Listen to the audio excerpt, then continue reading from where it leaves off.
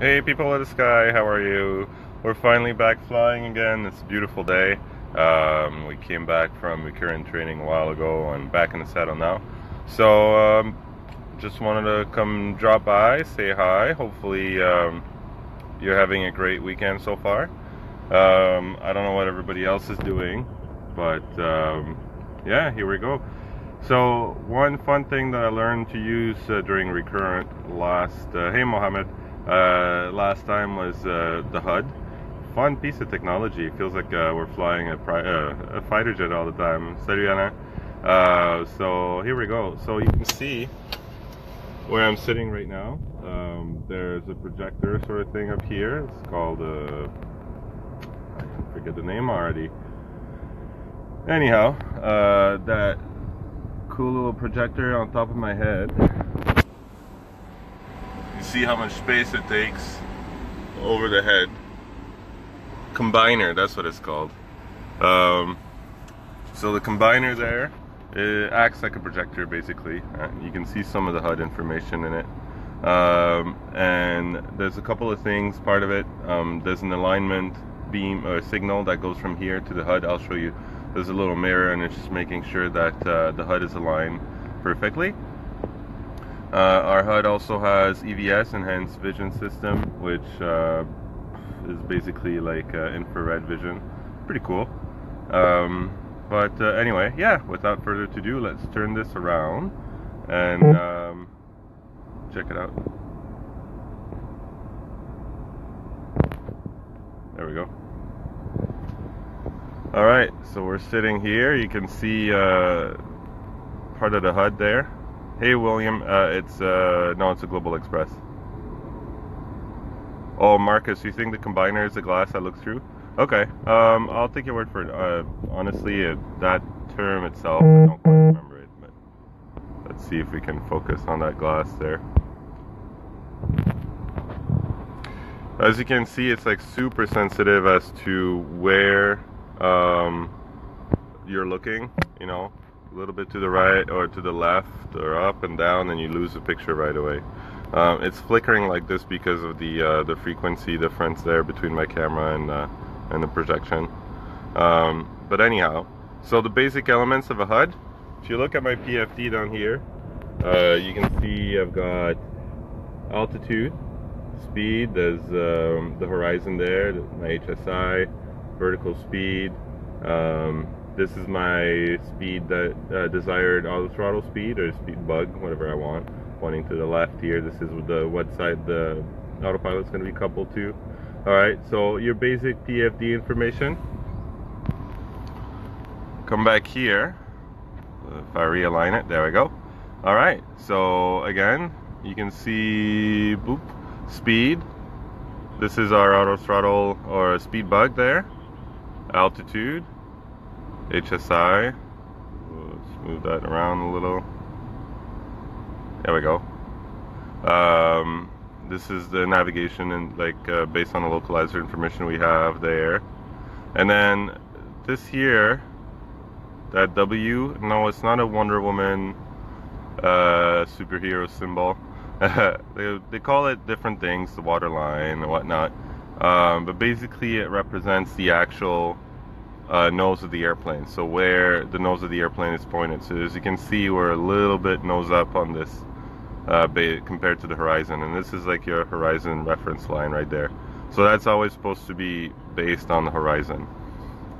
Green light is a kind of a hologram. Uh, it's a HUD, heads up display. It's a projection on, uh, oh that's almost clearer here. Projection on, uh, on a piece of glass. F-16, I wish. Um, and then here at the top whoop we lost it. There you go.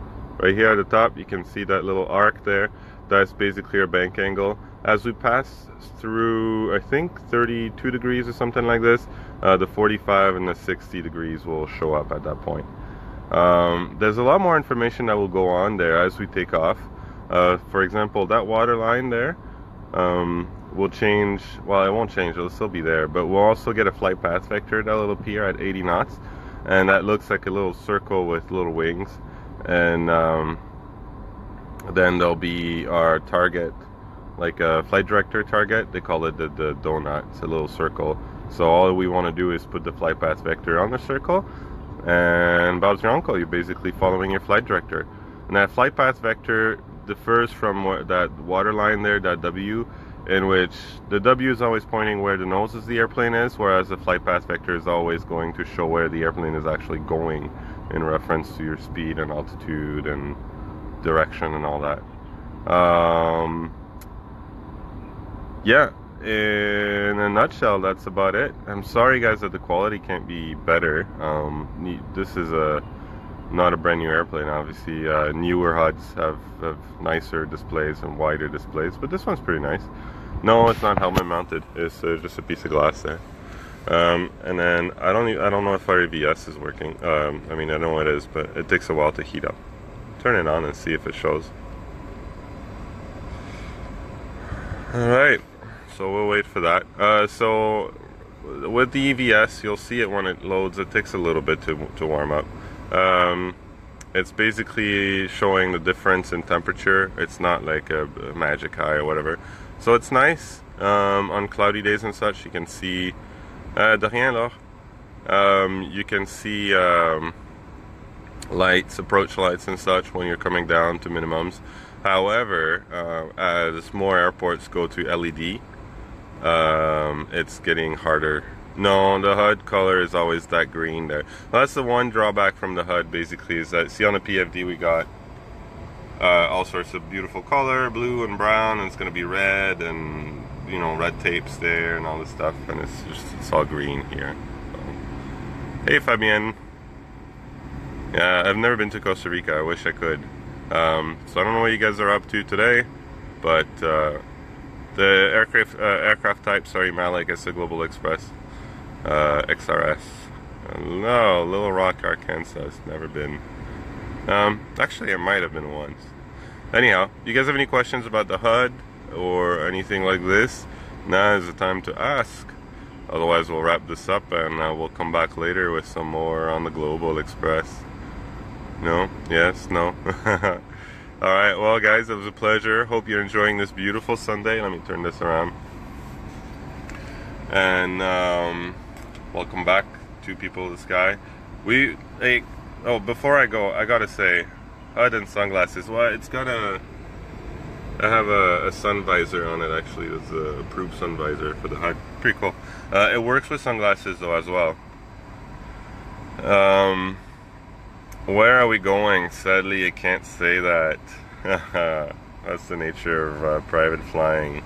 Um yeah, I can't believe that we're almost at 160,000 polarized sunglasses. I never wear polarized sunglasses flying as a rule of thumb. Um, so I doubt it would work. Uh, William and Global Express. Um, yeah, so 160,000 is great. It's just it's just retardedly crazy. You guys are amazing. Thank you all for being part of this, and uh, I just hope that we continue to grow, continue to grow. as a as a community. Uh, it's always fun to post, to see your comments, and to go live with you guys. You're a great bunch. So love you all. Uh, Stefano, how old am I? I'm gonna be 33 this summer. 33, I think. Yeah. Uh, no, I've never been to Cape Town, um, but here it's gorgeous over there. Uh, I was born in Africa, believe it or not, but never been to South Africa. Yeah. Uh, Little Rock Air Force Base, never been. Uh, sounds like fun though. Alright guys, have a great one, and uh, we'll talk to you soon.